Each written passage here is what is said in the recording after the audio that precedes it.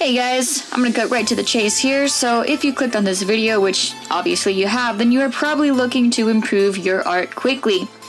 Now, I'm gonna show you the best way to do so, at least in my experience.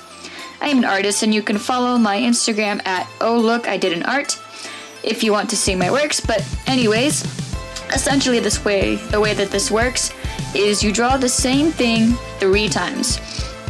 Here's an example of what this looks like. So as you can see here, this was my first drawing I did for this project. This drawing is actually absolutely terrible compared to my usual artwork. Here are some of the examples of other things I've drawn, and clearly that one is awful in comparison. The reason for this is because it was my first time drawing this character, and whenever I draw a character for the first time, it usually does not turn out great. If you guys aren't familiar with Pokemon, this is a character named Guzma and his partner Pokemon, but Anyways, when I finished this drawing, I looked at it and was kind of disappointed. So the very next day, I drew it again. And as you can see, already major improvement within the next time frame of the two days. So when you redraw your character, or just whatever you're drawing, um, you can make minor adjustments if you want, uh, or you can draw it exactly the same. It is up to you. I made a few minor adjustments and just overall this looked much better than the last one.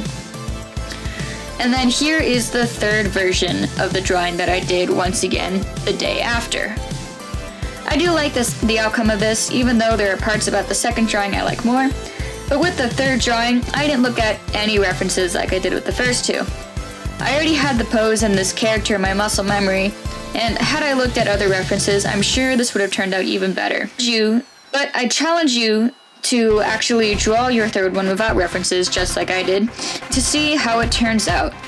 It'll go to show just how much you improved.